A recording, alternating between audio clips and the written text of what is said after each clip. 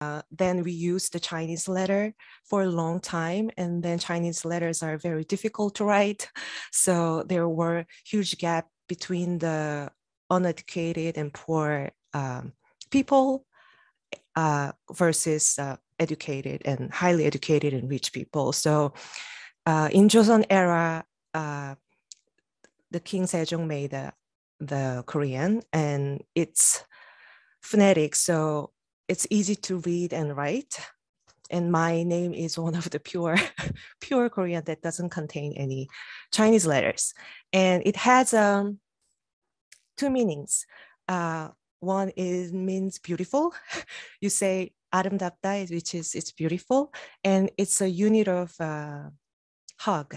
So back in the day, people measured the tree with the hug, and then this is a one areum. And if there's a two hugs, then it's a two areum, three areum, four areum. So it's a one uh, unit of a hug. um, it was so trendy. So when I was in uh, Korea uh, in school, and there are so many Ahreums, so I was the third Ahreum in the class. So yes.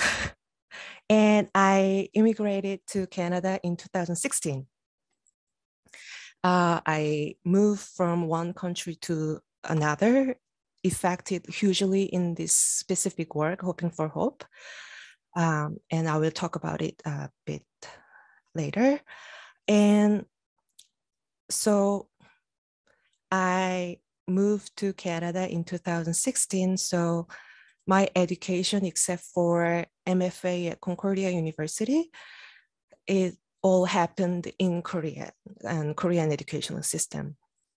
And uh, so in mid 90s, I was in the elementary school um, and I was taught that unite reunification between North Korea and South Korea is like something that we must do.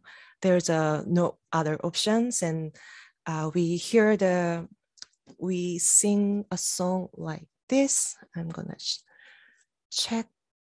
Ah,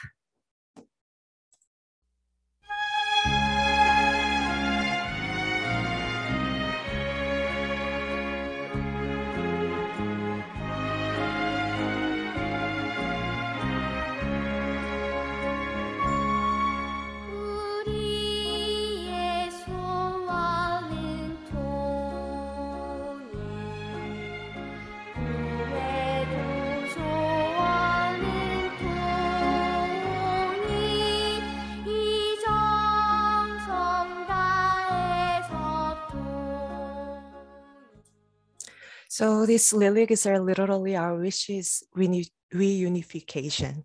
So this song was very popular.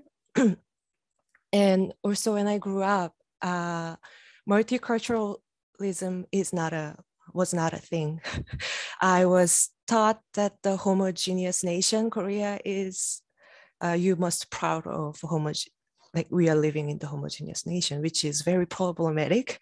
But um, at the time, the, there was no concept of it. Uh, so I share my personal story. I think it will connect to my work at the end, I hope. and I'm gonna talk about the general work making uh, before going to Hoping for Hope. So, oh, I I didn't mention about the I had a had a musical background. I think and I introduced me as a musician. I was in a band for 10 years when I was in Korea.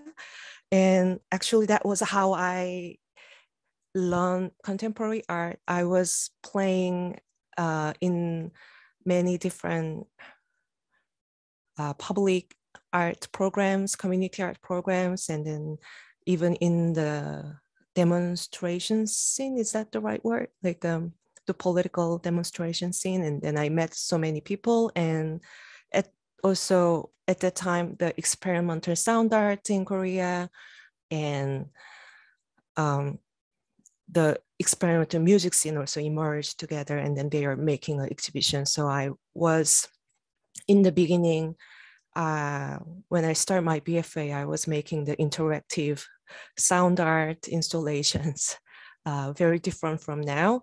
And before even going to BFA, I was also interested in the Korean traditional painting. So I was like all over the places. Um, as, sorry about my, my dog is barking. Suma, sorry about this. He wanted to say something, I guess. Okay. Okay, sorry. As you can see,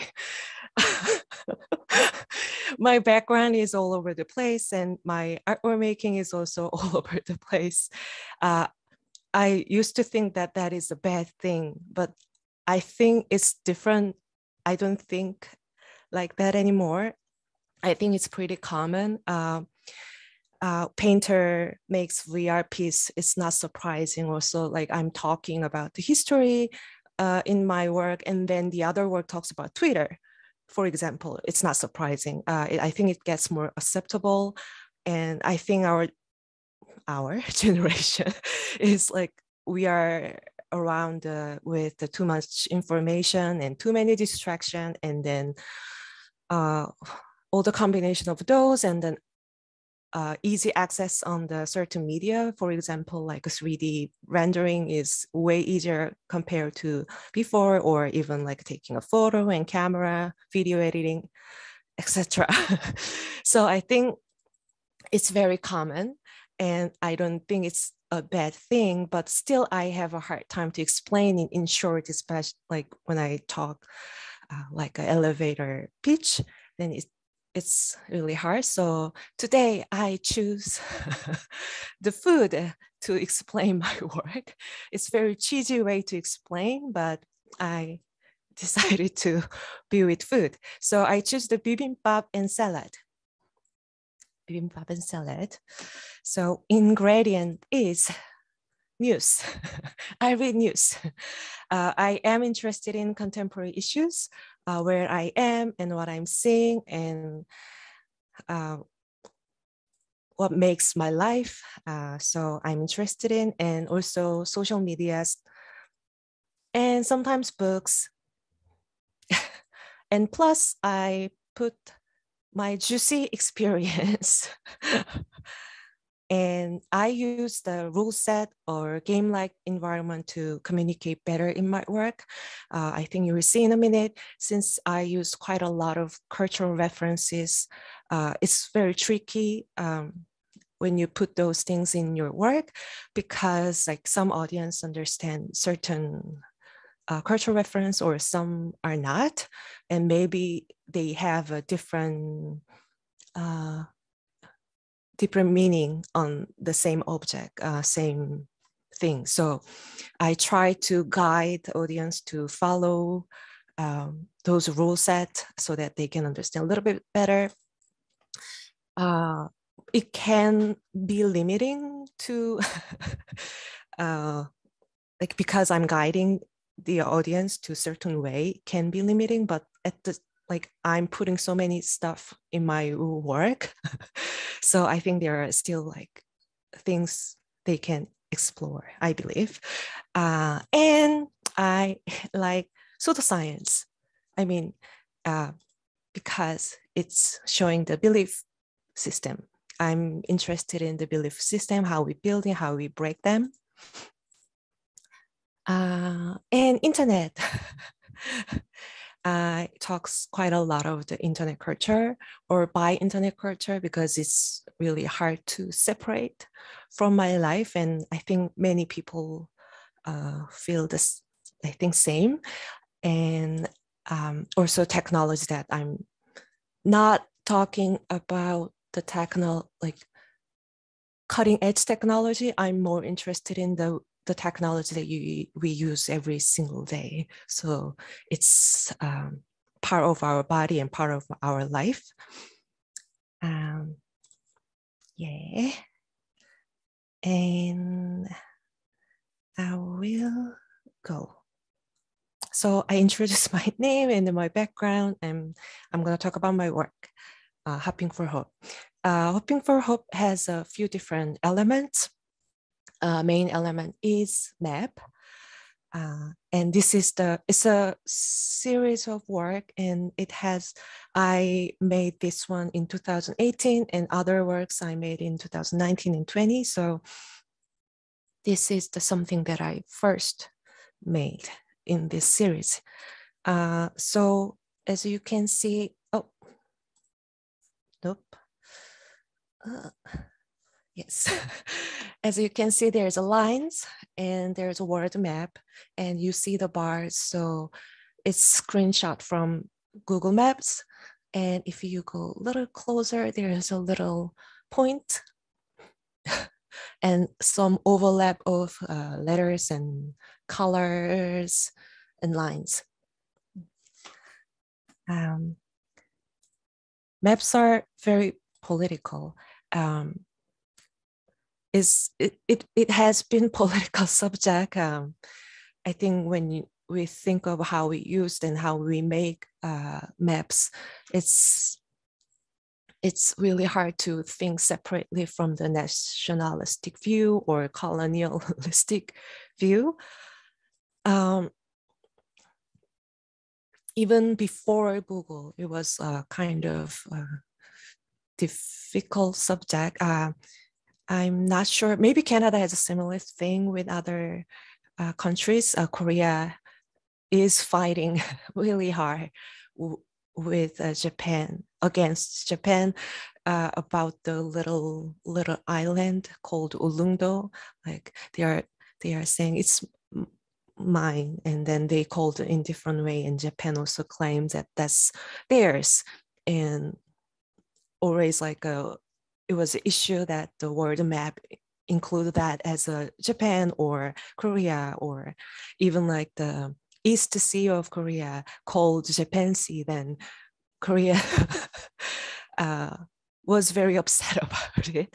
So it's it's it's very clearly political, and globalism happened, and internet helps uh, globalism goes uh, bigger, and we have a Google company that is global, and they there made a map.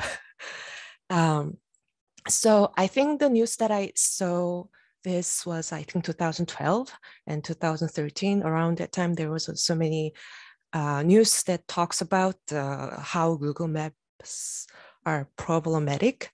Um, oh, so it's about the Gulf and how they naming the certain sea and certain parts uh, on their map and this is Indian version and global version. So uh, Google is global company, but and Google made a map, but the, we don't have one single map uh, per, perspective towards map, and we don't have a same borderlines. Um, for example, Indian claims their land is like this, and but then there's China, they are fighting. Uh, so uh, global version, when you open it like in America or in Canada, which are not uh, related to this fighting, then you will see this is contest area. That how they uh, show is like with the dots. And then it's really hard to avoid to be in that fighting. So they decided, Google decided to apolitical. So they changed the borderline view depending on where you are. Um, so that's how they uh, deal with this issue. So these are all the news that I researched so this is another one that US Google Map and users in China, users in India.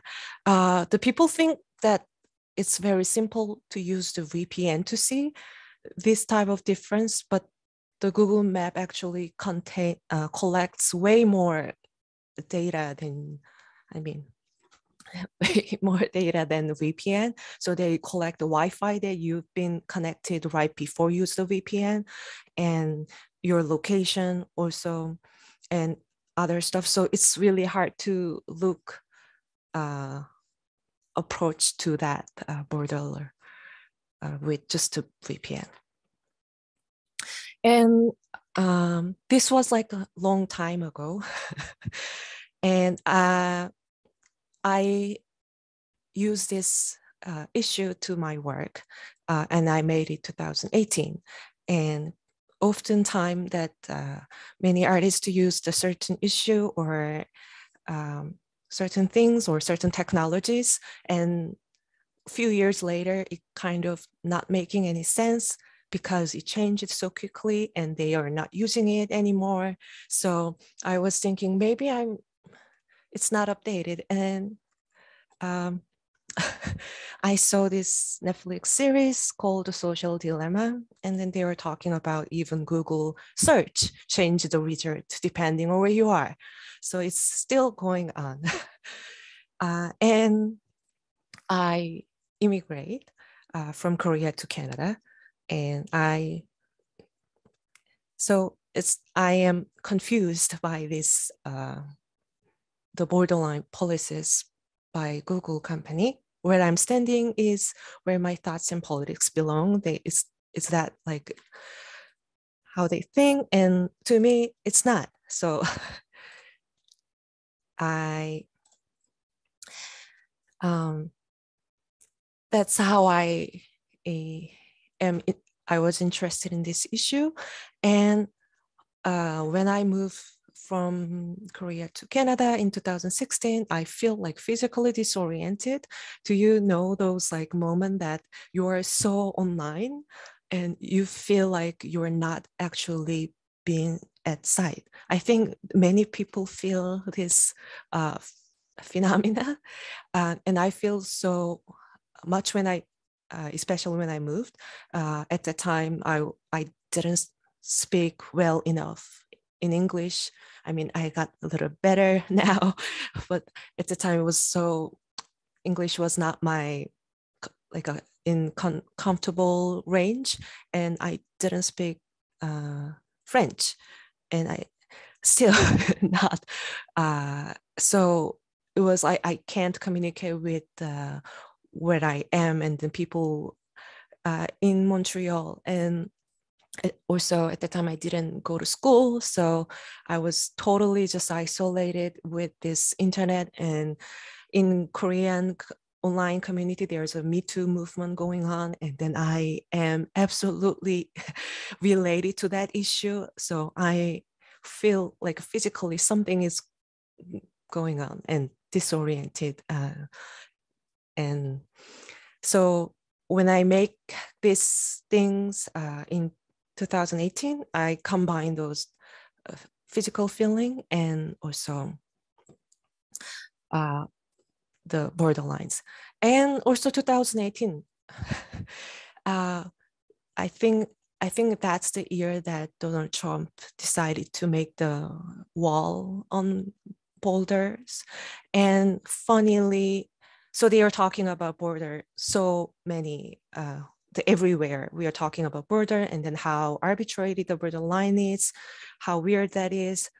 And also weirdly, I think it's in 2018, the North Korea and South Korea presidents met in DMZ, the demilitarized zone between the North and South Korea. So it kind of like makes me think back uh, to see those um, the the Google Maps again and then think my uh, physical emotional uh, phenomena and all these issues around me. So I've come to understand border lines like a game of hopscotch. Uh, so hopscotch is international game. Um, I didn't know, but then I tried to translate the 땅 and then I I noticed that this is an international game. Um, so uh, leading me to create the version of game that used the geographical borderlines generated by Google Maps. Uh, so I used the Korean version of hopscotch. It has a little bit different rule. So in Korea, hopscotch rules are a bit different than in the West.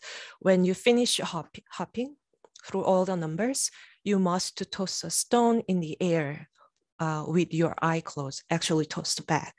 And the area that uh, stone lands on belongs to you and other player can't step on it.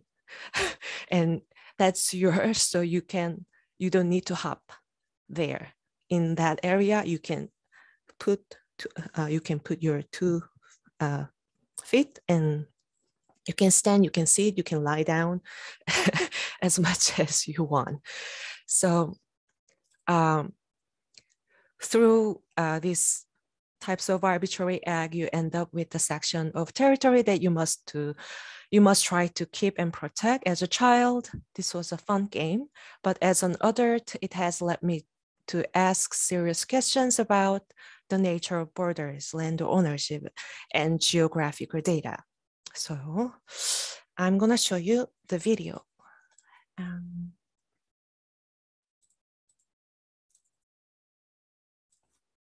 this one doesn't have a sound. So this is the uh, tutorial video um, that explain how to play this hopscotch game because I used the Korean version of it and I got inspired by the the I don't know how to say pseudoscience aesthetic in YouTube because it's uh, it's very arbitrary and you just have to believe and I wanted to use those uh, elements on it. I so there was a unicorn. I saw the meme uh, few months ago that talks about digital art that include unicorn you have to avoid. and then I was like, feeling a little shame because I have a unicorn uh, so you throw and it lands on two, number one. And you have to hop, hop from two.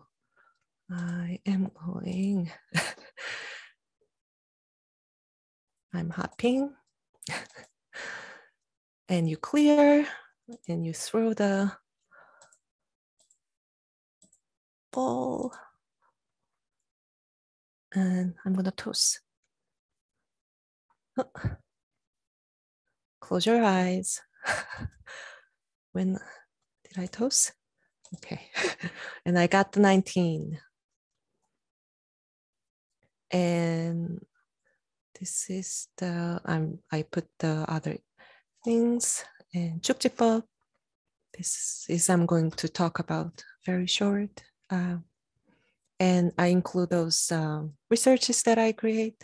So I combined all the maps that I can get. And then I put it. Yes. uh, Okay.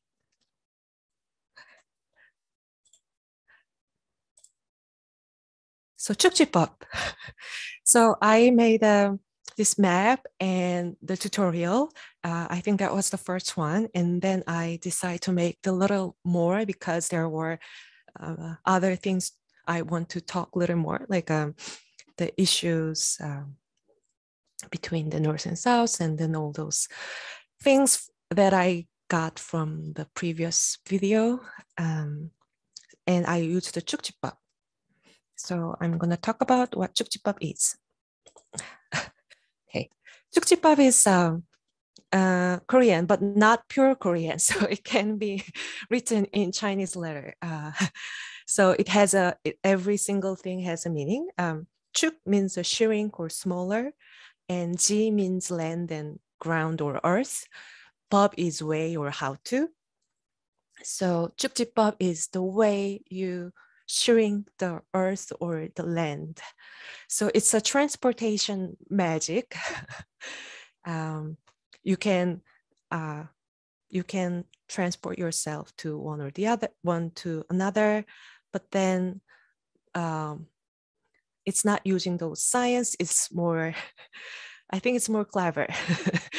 it's a shrink the word. So you're very calm and you're slow. You don't need to jump. You just like uh, walk one step, then world is shrink, so you go from Montreal to London, just do with one step. Uh, and here's other reference about around the Chukjipbop. So in Korea, ability of Chukjipbop was attributed attributed to North Korean leader Kim Il Sung and Kim Jong Il in the propaganda song. The general uses uses warp. Uh, in Korean, 장군님 축지법 쓰신다.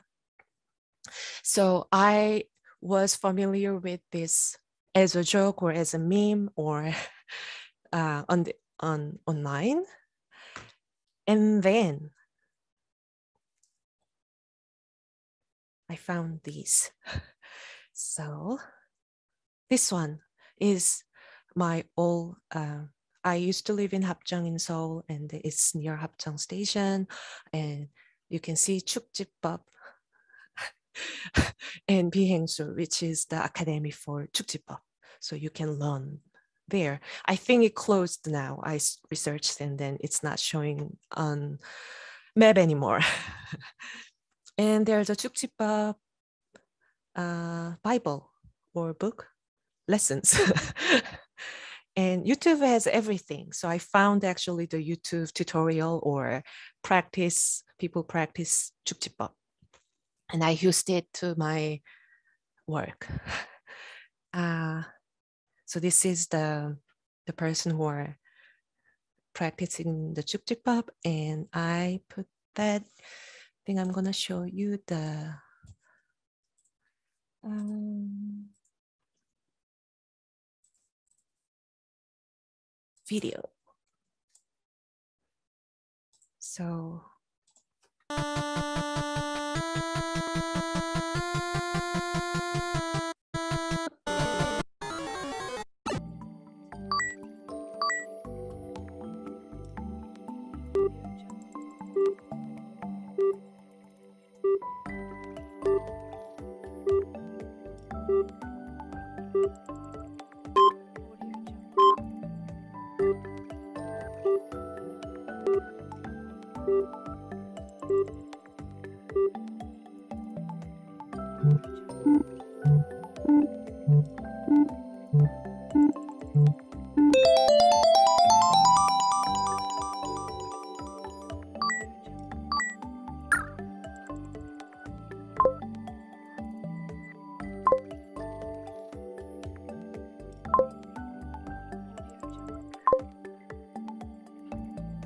So I created uh, this dance dance revolution style Chukjipbop practice with your phone.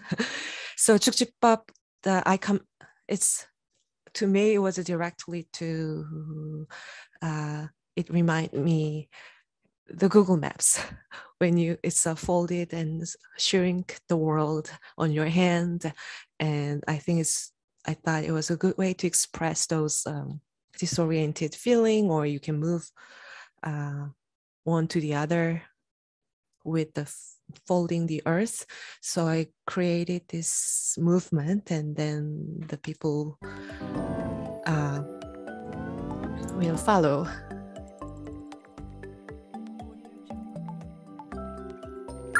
And then, so another step in and this is Montreal. I think it's Papineau.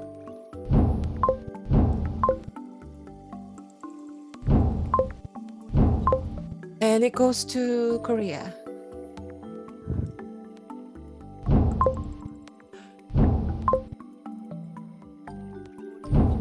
And Montreal again, St. Catherine.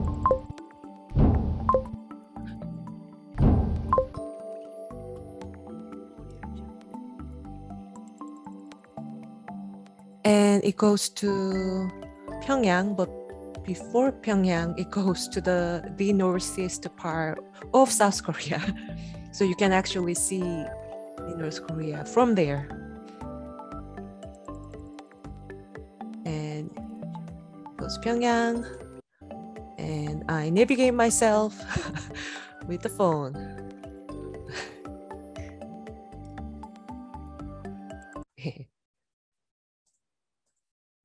Supposed to be fun. so I hope you laugh. okay. Uh, that was my second video. Okay, I show the video. So it goes. Yes, and I'm going to talk about rocks. Um, so after this, I created the rock. So when you actually do the hopscotch game, then you toss these rocks. So I used the, just a stone or pebble uh, from the street and then I decided to embed the Google, the digital image on that so that, you know, rocks are actually part of this earth and then it contains a lot of uh, geological geological data and I want the visually I want it to be combined with uh, digital aspect. Is that making sense? so this is the rocks. So um, this is very clear image. Uh, I have one here. So when you just to look at it, it doesn't really stand out as a different type of rocks. but when you close, it has a little bit of uh, little bit of yeah things. Uh, so i photo transfer the google image. I printed and i photo transfer on the rocks. And this is uh, the clear image. And then i create this one in uh, when i have a residency at banff. Um, so it's very new. Uh, so those the moment of the Google Map goes like jumping from one to another and it's shrink in a way that like the digital images collapse and uh, i feel the speed or movement in it and also uh, something that is not real. So i create digital version of rocks with those um, those patterns. Uh, uh, okay, I'm going to talk about the name. so this is a little bit uh, side work of hopping for hope. Uh, so it's not about the the hopscotch uh, game or any Dance Dance Revolution game, but I it's uh, I was traveling from Toronto to Montreal. I think before COVID, uh, so a few years ago with other friends, and I think I got the free ride. So I was listening. This Google Map is uh, navigating us uh, to Montreal, and then uh, from Ottawa and Quebec, and there's like road names are changing, but our Google uh, Assistant uh, can't change their language right away, and still in the English set, and then mispronounce all those um, all those uh, French names, and uh, I and people laugh at it in the car and i was like oh it's it's i think uh just uh to be honest i think i i just feel attached to this uh, the glitched the sound and this mispronunciation. That's what i'm doing all the time when i speaking in english or even french. It's harder. And and even the google has um, um, technology for French, English, everything. And they can translate, they can, uh, the mixed language, but they can't, they didn't put that in, I guess, Google Map, uh, uh, in, in the Google Map. So I record all those names that this uh, kind Google Assistant mispronounced the road name and also road name has the colonial view of it. I mean, it, and also history of the land. And so I, I recorded, I'm gonna, uh, I'm going to show. So, and I put the metronome. Turn right onto Rue de la Montagne. In 150 meters, turn left onto Rue Aylmer. Turn left onto Rue Aylmer. You can feel it's kind of wrong. it's not natural. I, I, even though you don't know how to pronounce right way, it, there is a little like a glitch that like were fast and then I emotionally attached and also I am generally interested in names. Um, oh, I so uh, I guess I didn't show the my name piece. um, do you hear? I record all my mispronounced name name in Montreal and then asking people to pronounce my name and uh, I made a piece out of it and I think I'm interested in name and as a sound that is uh, the most often that you listen in your whole life, your name. And also, a naming is political. uh, and I was interested in, I was working on other uh, piece that talks about the, the AI assistants and uh, their voice. And I found this book. Uh, Wire for Speech and and there's a research uh, about the tend to change our own voice depending on the voice we are talking to, even though it's uh, we know it's a synthetic voice, computer generated voice. Uh, uh I mean, in the book, it's only uh, researched with 100 or 200 people. So maybe we can critique on that. It's uh, it's not like a 100% truth. Everybody does that. I can't say that. But then there's a other research also showing similar things. So um, we even though this there is a hierarchy between the human listening this and then react like ah you le- laugh at it. And i wanted to include those uh, things to uh, the work. And then i put these two monitors uh, like a tempo at the same time this kind of like a, uh, you are driving okay. And last part. So I this work was actually the most difficult to put all together and explain in one word. And I also thinking of the space, uh, exhibition space as a space and land that I can uh, display these things uh, as my dis- season goes and i wanted to map the space out and so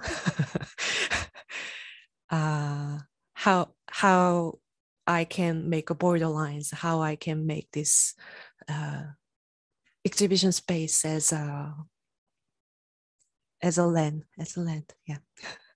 So i'm gonna show you uh, this one so I use the international uh, cartography symbols to make, there's like a, you know, when you when you put the rivers and when you put the church when you put the house and you put the, the there's all symbols. So i use those symbols to map my other works together. And also i used um, uh, the GPS information as well as a number there. And I'm gonna show there uh, and IP addresses and satellite calculation icons as aesthetic motif to connect all the components. So this is at the new gallery. Uh, and I put things there.